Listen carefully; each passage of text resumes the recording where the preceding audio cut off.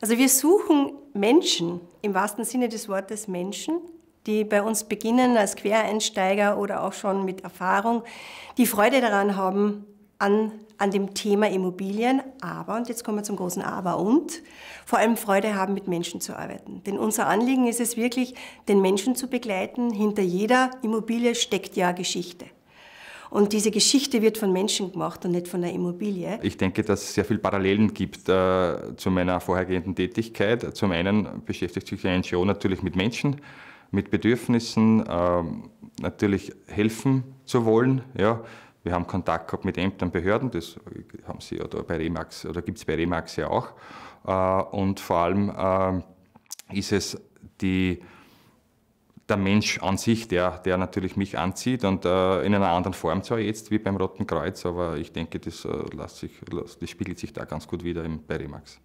Und wir suchen Menschen, die Freude haben, die Qualität haben, die ähm, auch die Bereitschaft haben, sich weiterzuentwickeln und zu lernen. Wir suchen Menschen, die natürlich äh, eine gemeinsame Wertebasis haben, Menschen, die äh, Wert auf professionelle Dienstleistung le legen, die integre Arbeit leisten. Ich denke, das ist ein ganz, ganz ein zentrales Thema, dass man Menschen im Netzwerk hat, auf die man vertrauen kann, auf die der Kunde vertrauen kann, weil Vertrauen definitiv das höchste Gut in der Immobilienvermittlung ist. Wir suchen Menschen, die eine ordentliche Biografie haben, die bereits im Leben etwas erreicht haben, die sich verändern wollen, die noch einen weiteren Karriereschritt draufsetzen wollen.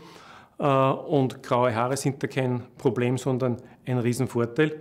Denn auch ein 25-Jähriger, der fachlich äh, dieselbe Ausbildung absolviert hat wie ein 55-Jähriger, wird bei einem 50-jährigen Wohnungskäufer weniger Vertrauen erwecken können als der 55-Jährige. So gesehen ist Alter in diesem äh, Metier durchaus von Vorteil unabhängig jetzt von der Lebenserfahrung, die ein 55-Jähriger unbestritten äh, mehr mitbringt als ein 25-Jähriger. Also es ist natürlich eine große Verantwortung für uns als Makler, äh, hier das Bewusstsein zu haben, worum es hier tatsächlich geht. Und äh, so eine Entscheidung zu treffen, ist eine langfristige in aller Regel, äh, ganz egal, ob es um den Verkauf einer Immobilie oder um den Kauf einer neuen Immobilie geht. Also wer gerne mit Menschen kommuniziert, wer gerne unterwegs ist, wer lieber draußen im Feld als wie drinnen im Studio oder im Büro ist, der ist perfekt für dieses Business geeignet. Und mit rund 80 Prozent, also diese Zahl muss man sich ja mal zergehen lassen auf der Zunge, 80 Prozent Quereinsteiger, äh, das ist ein ganz ein klares Statement an alle, die die Frage haben, na kann ich das und kann ich das schaffen? Ja, sie können, wenn sie Vertrieb lieben, wenn sie Menschen lieben und wenn sie gerne Dinge umsetzen, die schon jemand anderer äh, geprobt hat und die sich schon bewährt haben, dann sind Sie als Makler im Remax-Netzwerk goldrichtig.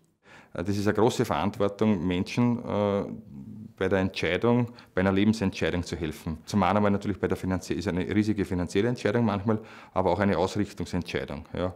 Und hier mithelfen zu können, also das ist so, und das positiv zum Abschluss zu bringen, äh, sowohl für den Abgeber als auch für den, für den Käufer, das ist irgendwo so dieser, dieser direkte oder manchmal auch indirekte Dank, den man dabei empfindet.